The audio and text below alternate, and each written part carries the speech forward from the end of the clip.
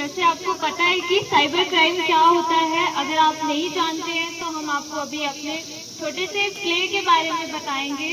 और जैसे आप इसे देख के और समझिए और अपनी सोसाइटी में बताइए कि साइबर क्राइम से कैसे अवॉइड हो। ठीक है? और थैंक यू आइए आपको दिखाते हैं हम।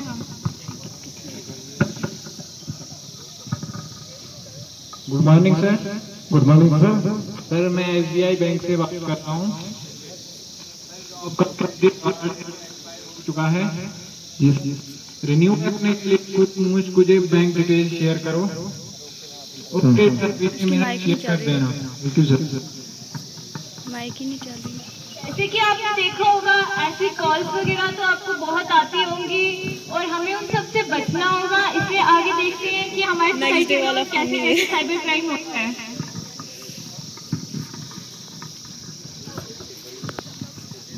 काफ़ी दिन से मेल चेक नहीं करी है चलो आज कर ही लेता हूँ।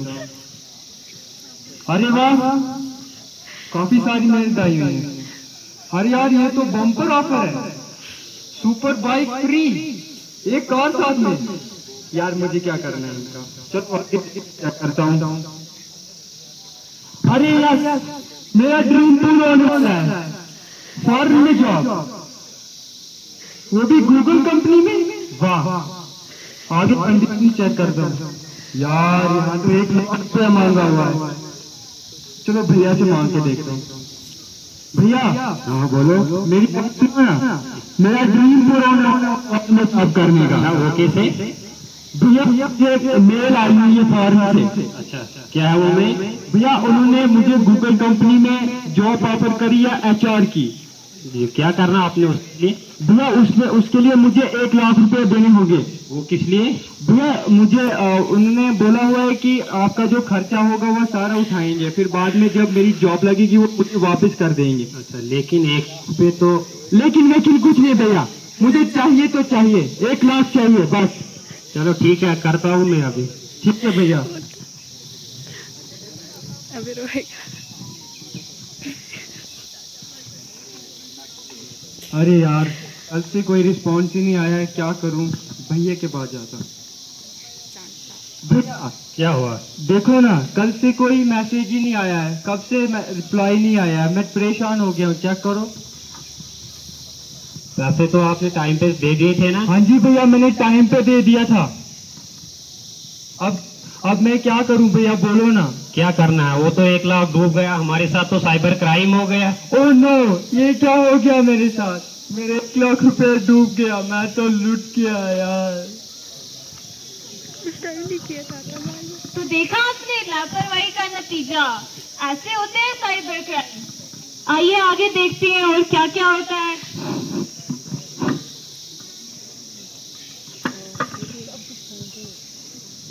हेलो गुड मॉर्निंग सर जी गुड मॉर्निंग सर मैं केबीसी हेडक्वार्टर मुंबई से बात कर रहा हूँ सर जी सर आपकी लॉटरी लगी हुई है सर 25 लाख की. यस सर कैसे लगी? सर आपने ऑनलाइन क्विज किया था तो सर आप उसमें 25 लाख जीत चुके हैं. यस सर तो सर आपको मुझे बैंक डिटेल और अपना आधार कार्ड सेंड करना होगा. और सर एक और बात. आपको बीस हज़ार रुपए मुझे सेंड करने पड़ेंगे टैक्स के तौर पर. यस सर ठीक है सर आप मुझे ये सेंड कीजिए मैं आपकी फ़ाइल आगे सबमिट करवाता हूँ। ठीक है सर मैं अभी करता हूँ। ओके फ़ोन काट करके बोलता है। अरे वाह अब मेरा यूके लंदन पेरिस घूमने के दिन आ गए। यार अब मेरे अकाउंट में पच्चीस लाख आने वाला है। अब मैं तो जीने के मज़े करूँगा मज़े। क्या है? What is this? ये सारे इधर ही आ रहे है क्या यार? अरे या, मेरे अकाउंट में तो अभी तक कुछ भी नहीं यार, मैं तो लुट गया। बीस हज़ार मेरे फ्रॉड में हो गुम यार शिट वो तो मैंने घर वालों से पढ़ाई के खर्चे के लिए लाए थे। अब मैं कैसे पढ़ाई करूँगा? शिट यार। Um, oh my god.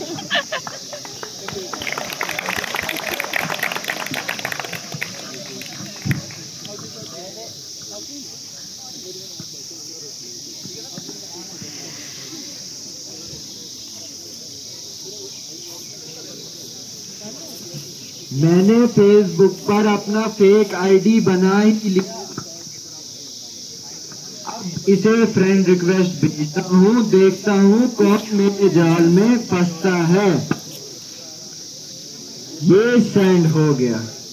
अरे वाह एक रिज़ल्ट भी आया है। हाँ ये बड़े रईस बाप का बेटा लगता है। ये अगर फंस गया तो मैं माला माल हो जाऊँगा। इसे फ़िश फ़ोन बुलाकर किडनैप करूँगा। और बस वाह ये तो बड़ी जल्दी जल्दी मैसेज कर रहा है। अच्छा बेटा, आजा तेरे बाप से मोटी रकम वसूल करूँगा।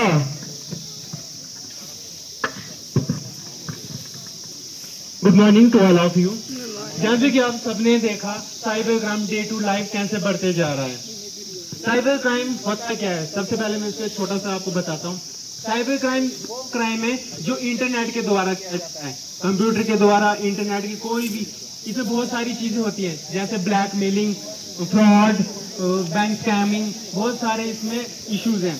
तो जैसे आपने देखा स्टार्टिंग में बैंक से कॉल आई। आप सब में से बहुत सारे लोगों को बैंक से कॉल आती होगी। एस बी आई जे के एच डी एफ़ बहुत सारे बैंक से कभी एटीएम एक्सपायर हो गया, कभी क्रेडिट कार्ड कभी क्या, कभी एटीएम ब्लॉक हो गया। तो ऐसे कॉल्स आपको आती होंगी। इन सब कॉल से बचें। आप अगर कोई भी बैंक वाला कॉल करता आपको आपको कोई नहीं पूछेगा कि आपका एटीएम पिन कौन है। वो आपका नाम पूछेगा आपका नंबर पूछेगा और आपकी उसमें डिटेल्स आ जाएँगी। कोई भी बैंक किसी से डिटेल नहीं लेता। उसके बाद ईमेल बहुत सारे लोगों को ऑफ़र आते होंगे। शॉपिंग के offer 20 percent discount 50 percent discount ऐसे ऑफ़र पे क्लिक नहीं करें। कोई ऐसी कंपनी नहीं जो ज़्यादा ऑफ़र देके आपको ले। कभी भी शॉपिंग करें ओरिजिनल वेबसाइट से करें, जैसे अमेजोन फ्लिपकार्ट कोई भी इन रेगुलर रजिस्टर्ड कंपनी से शॉपिंग ना करें। और फेक अकाउंट सोशल मीडिया पे आज हर कोई इंसान है। हर बच्चे, हम सब में से 99 परसेंट सोशल मीडिया पे अवेलेबल है। तो ऐसे सोशल मीडिया के फेक अकाउंट से बच्चे फ्रेंडशिप करते हैं कुछ पैसे लेते हैं, जैसे किडनैपिंग का केस हुआ। और इसमें साइबर क्राइम से हमारी सर्वे गवर्नमेंट ने सर्वे की थी। ये पता चला है कि साइबर क्राइम के जो शिकार होते हैं साइबर क्राइम के जो शिकार होते हैं वो सुसाइड करने पे आ जाते हैं।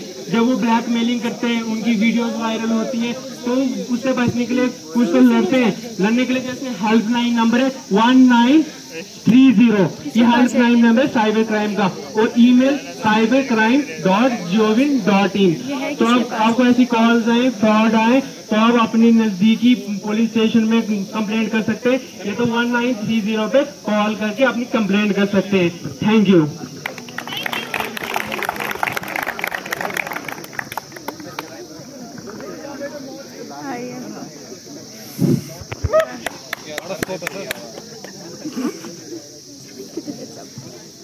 Good morning to all of you. Good morning. Good morning.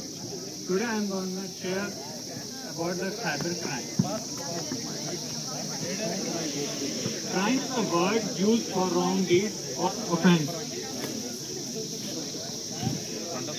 Crime is a word used for wrong deeds or offense. But when it comes to cyber crime, that in, can be defined as a crime done on the internet to cause an immeasurable loss to the individual, organization or the government. Cybercrime is a punishable offense committed by the cyber criminal. Several examples of cyber crimes include fraud, identity theft, cyberstalking, creating or sending malware like viruses, for destroying the system or steal the data to make money. People involved in such activities find them as an easy way of making money. Even many of the well-educated and knowledgeable persons are involved in such activities. Day by day, this is becoming a great threat to our society and nation. Cybercrime is the most prevailing crime in the present scenario done through internet. It causes a severe loss to the victim. Therefore, some other measures should be taken by us to avoid such crimes. The vigilant behavior and following the safety protocols are only helping aids which can reduce the occurrence of cyber crime. The tips about the cyber security will be shared by my friend. Good to all of you. I want to tell you on cyber security. First is keep software and operating system updated. Use antivirus software and keep it updated. Keep strong password. Never open in attachments in spam mail. Don't click on untrusted websites. Check your bank statements. Don't keep your personal information. There are many departments you contact such as National Crime Corporation Center, Federation Bureau of Investigation. And last one is to educate our elderly people and aware of this crime. Thank you everyone. बस हो गया हो गया अभी और है और मैं तुम्हारा